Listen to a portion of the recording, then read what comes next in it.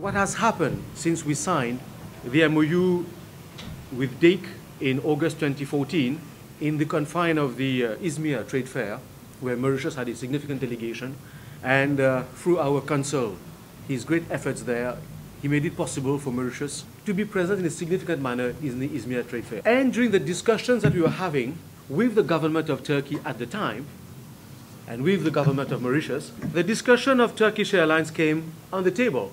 And the question was being put by the minister from the Turkish side to our minister was, Turkish Airlines is ready. When are you going to be ready? So I think a lot of work has been done, much more from the Turkish side, I must say, to make it happen. Turkish Airlines is now flying to Mauritius, and I think this is just the beginning of a great story. This is our, also our objective to play that hub between Asia and Africa, and I think there is a great combination. We welcome a Turkish delegation this year, in February, Faiza, and no longer than a couple of weeks ago, we had Enterprise Mauritius who was in Turkey. So I think that uh, we, we're also doing a lot on our side to connect. Right. I believe that fundamentally people do business with people that they like, that they get on with. And I think this is what we want to foster. Relations, networking, a win-win situation, but based on a profound understanding of each other's needs. Mauritius is a very small country. Turkey is a big country, but I think together we've got a big market next to us. And I think that should be the, the strategy that we need to pursue. DEIK is a private sector entity represent the Turkish business community with its approximately 800 members in Turkey. DEIK's goal to assist Turkish private sector and its operation abroad by creating necessary platforms where Turkish businessmen can meet the private as well as the public sector representative of foreign countries. For these purposes, DEIK has so far funded business councils, 30 of them is with African countries. Since the establishment of Turkey Mauritius Business Council in 2014, and as a founding chairman of this business council, we have put greater emphasis to develop our relation with Mauritius.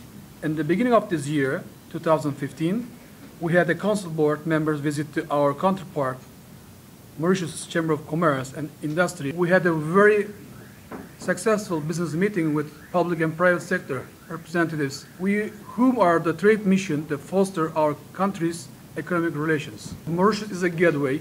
They have a financial advantages to introduce access to all African countries. It's a big potential.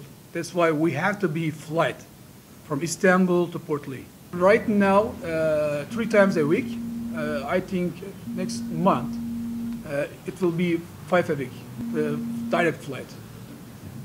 This is a tradition that in all important negotiations, private sector and government officials, they sit side by side and negotiate a deal. The free trade agreement that we concluded with Turkey, it was a teamwork of the private sector and government officials.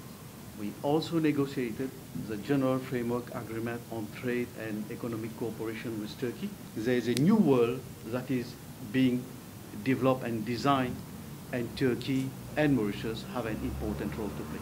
There is a lot to collaborate.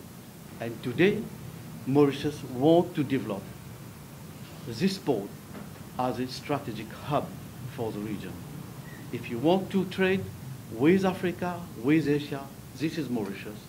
We are on a dual strategic location. You are a gateway to some emerging economies in Central Asia that have gas, that have petrol, that have minerals, and it goes through Turkey. So these two uh, points that I have uh, mentioned, it will be important plus for our co collaboration.